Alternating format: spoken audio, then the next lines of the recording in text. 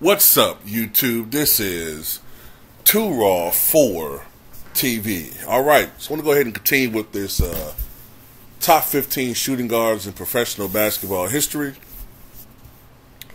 So, just to continue with my list, at number 15, I had Tracy McGrady. Number 14, Vince Carter. Number 13, a very controversial pick, I had Klay Thompson. Number 12, Reggie Miller. Number 11, Ray Allen. Number 10, I had Earl the Pearl Monroe. At number 9, I had Sam Jones, the great Sam Jones. At number 8, James Harden. At number 7, George the Iceman Gervin. At number 6, I had Allen Iverson.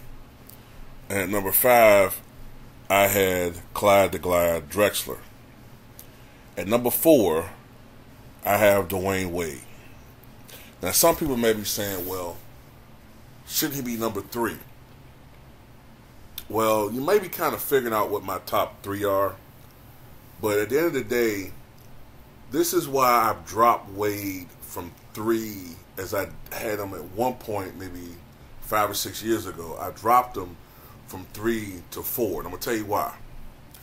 Because I thought it was sort of hypocritical for some of us to penalize LeBron James for playing on the super team, right? But we don't do the same thing for Wade or Bosh. We don't do it. We criticize LeBron for doing it, or pen- and penalize him, I should say, right?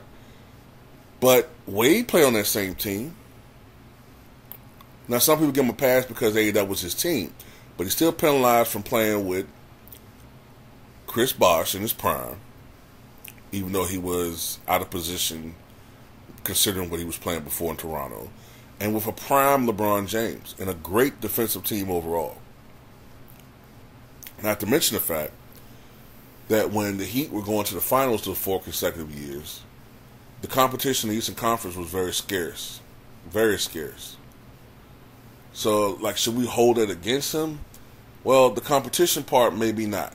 But them joining the super team, I, I, I hold it a little bit against him to the point where I don't know if his three championship rings, you know what I'm saying, are on par with other guys that have won three or more championship rings. That's just my opinion. Maybe we shouldn't do that, but I still have him as a top four or five all time shooting guard. Uh, Dwyane Wade was a really good player in Marquette when he was playing with Marquette, he was a really good player, but I don't think most of us foresaw him becoming what he was in the NBA. And I'm not trying to cast aspersions here, but you know when he was playing in Marquette, he didn't look like Flash most of the time. You know what I'm saying? Now maybe it's because maybe he lost a little weight, he became more explosive, whatever. You know what I'm saying? And until it's proven that Wade or some of these other guys did something, I, I can't go out there and make that assumption. You know what I'm saying? So at the end of the day, you, you got to take what Wade did and, and give him full credit until otherwise it's been proven that hey, he, he had some assistance. But when I think of Dwyane Wade in his prime, I think of a player who in some ways reminded me of Allen Iverson. All right? And by that I meant the heart and the the the never say die attitude as far as Wade. Like I think people forget why he was called Flash. I think a lot of younger fans remember him toward the second half of his career when he was more of a mid range shooter, uh, maybe cut to the basket for a layup, but he wasn't nearly as explosive as he was, say, from 2006 to 2011 or 12. That Wade was on another level. As a matter of fact, you could even make the argument 2008, 2009, 2010, you can make the argument that Wade may have possibly reached the same level in some ways as Kobe, or close to it close to it. It, it, it was close. it was close. Kobe was more of a killer mentally. Uh, but Wade was in that conversation. And um, Wade was a dude that his game predicated on mid range, slashing to the basket. Uh, he had a proficiency to getting foul calls. Defensively, he wasn't a shutdown defender, but he wasn't garbage either. You know what I'm saying? And and one of the things he had a knack for throughout his career was blocking shots. As a matter of fact, I believe he is the most prolific shot blocking shooting guard or guard period in NBA history. I believe he passed Michael Jordan in that category his last season in the NBA. Um, but yeah, when I think of Wade, I think of the guy that revitalized the Magic franchise. Of course, he was the guy that had one of the greatest, uh, not just greatest playoff runs, but one of the greatest finals ever in 2006. And yeah, you could talk about the free throws, and yeah, they were ridiculously excessive. But at the same time, everybody talks about you know the LeBron and and, and, you know them come back from the three one deficit with the Cavaliers and the Warriors and all of that. But I think people forget how impressive it was for what the Miami Heat did in the 2006 finals. Remember, they were down 2 nothing. Remember that. They were down 2 nothing to Dallas. And Dallas in the third quarter of game 3 had a double digit lead looking to be well on their way to a 3 nothing lead and as we know no team has ever come back from a three nothing, three nothing deficit in the playoffs in the NBA. It's never been done before. I think the the best uh, a team has done is I think two teams have come back and, and forced a game seven, but they both lost the game seven if I'm not mistaken. But anyway, Wade is the guy that put that team on his back and led the charge for them to come back in that series. If I remember, I'm trying to remember.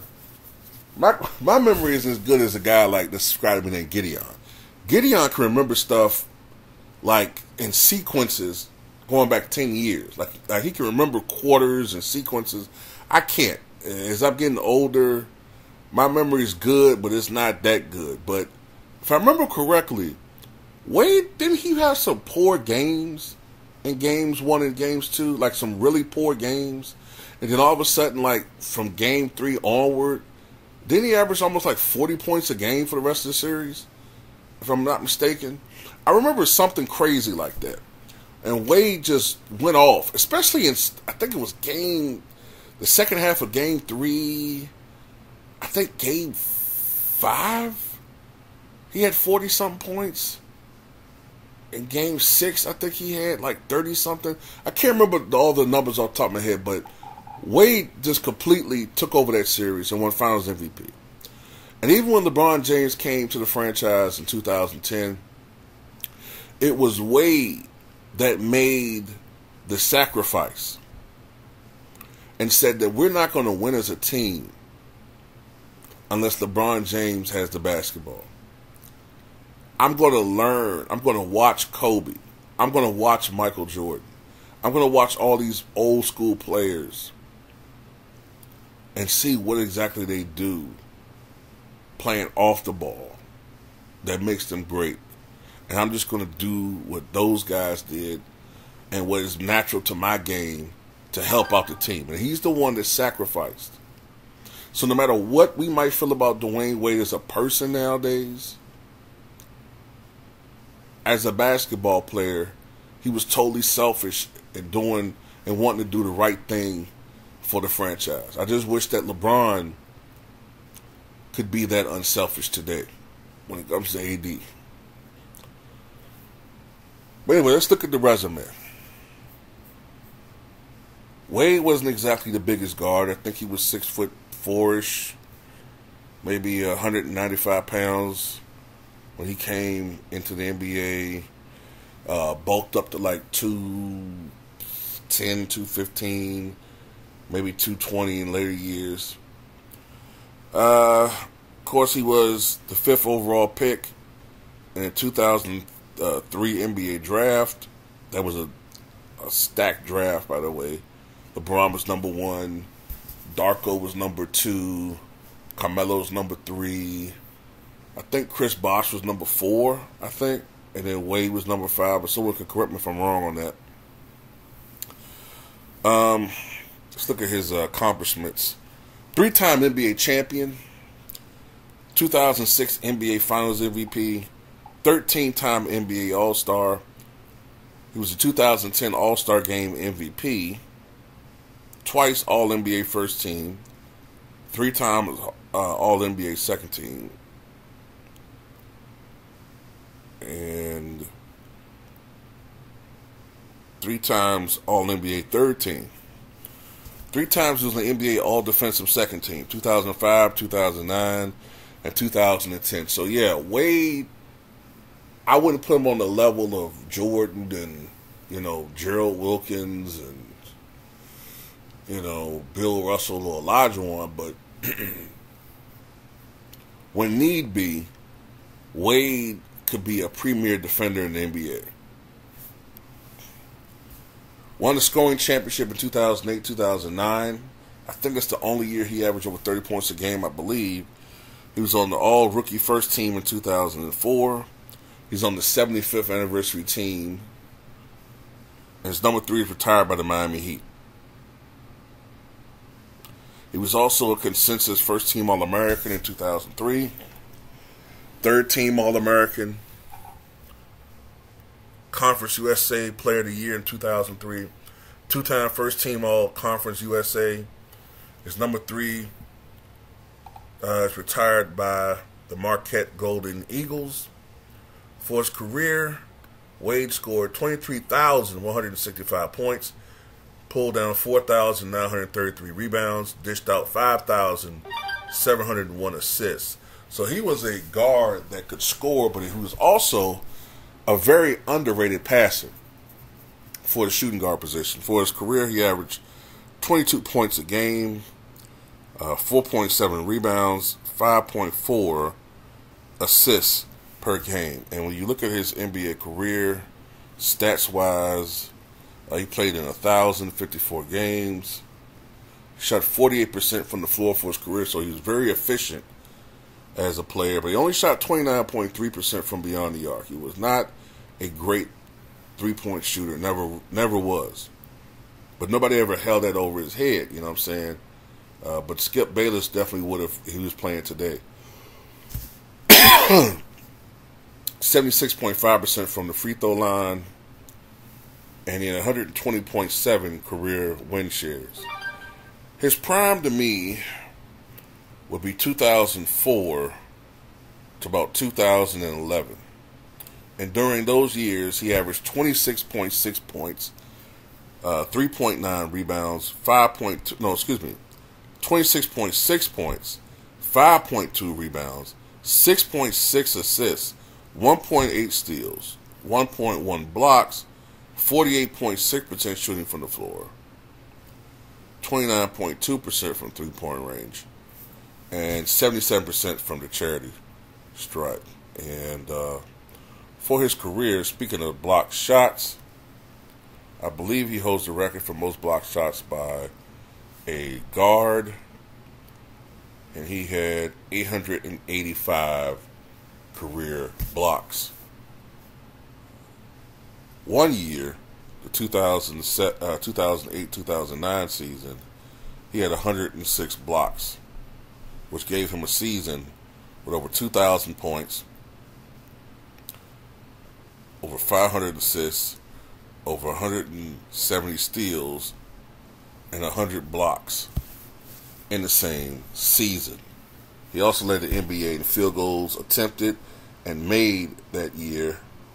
And um,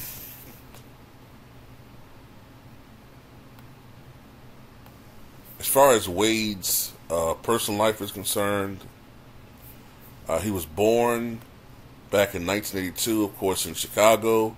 It'd be hard to believe the way we see today that he was the guy born in, in the Chi. But um, anyway, Wade didn't have a typical upbringing, but then again, maybe he did sort of have a typical upbringing uh, at that time. You know, his parents didn't get along very well. Uh, his parents separated when Wade was just four months old. I believe he was sort of raised by his older sister. Um, his sister name, I believe, was Jolinda. No, excuse me. The mother's name is Jolinda. And uh, she struggled with drug addiction and also had a criminal record. She went to prison. And um, when Wade was eight years old, he went to live with his father and his stepmother. And um, Wade turned to basketball and football, staying away from the temptation of drugs and, and the gang life. Wade credited uh, his sister as the person most responsible for putting him in the right direction. Wade grew up idolizing Michael Jordan and modeling his game after him. On October 14, 2001, as Wade's basketball career blossomed, his mother vowed to turn her life around. She said she has not used drugs since 2003. Wade played basketball and football for Harold L. Richards High School in Oak Lawn. He immediately excelled as a wide receiver and also played as a backup quarterback, but success in basketball took longer. He grew four inches by the start of his junior year and emerged as a team leader averaging 20.7 points and 7.6 rebounds. Wade's improvement continued to his senior year when he averaged 27 points and 11 rebounds. He led the Bulldogs to a 24 5 record and to a Class AA Eisenhower sectional appearance. Wade set school records for points scored and steals made. He credited coach Jack Fitzgerald as a seminal and positive influence. Wade was recruited to play basketball only by Marquette Illinois State, and DePaul due to academic issues.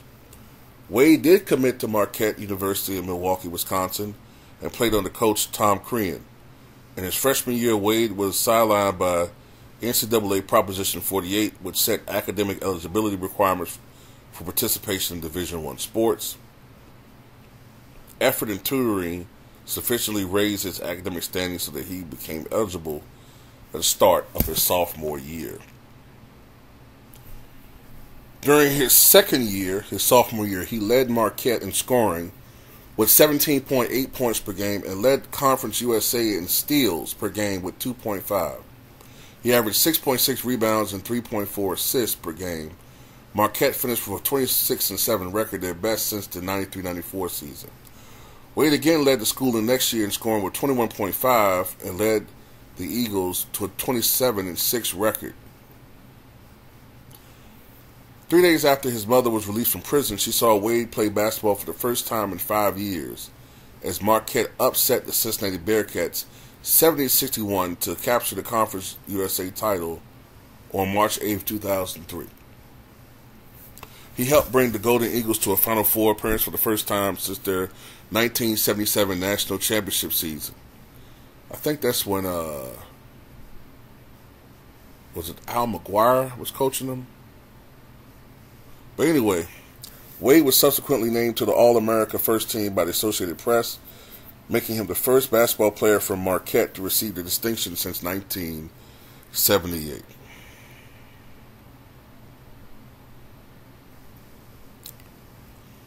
Marquette retired his jersey on February 3, 2007.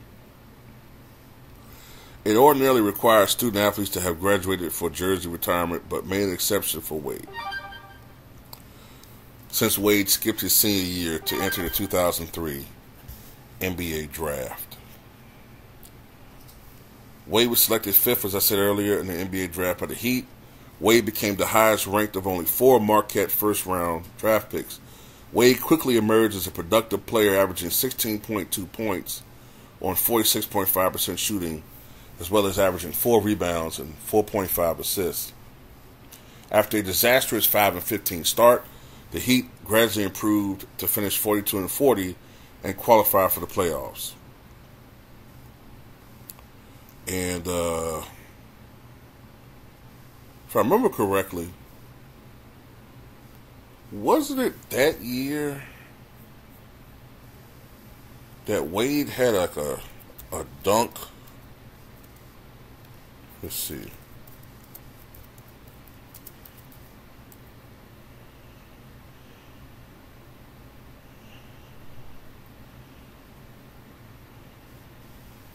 Trying to remember what year that was.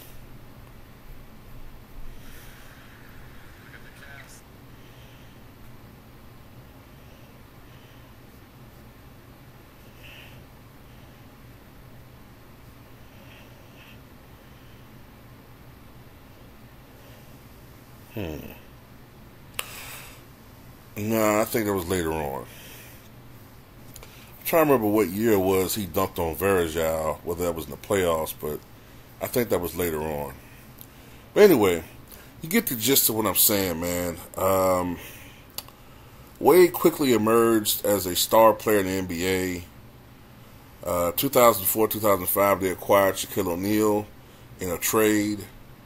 And uh, that particular year, they went 59 and 23.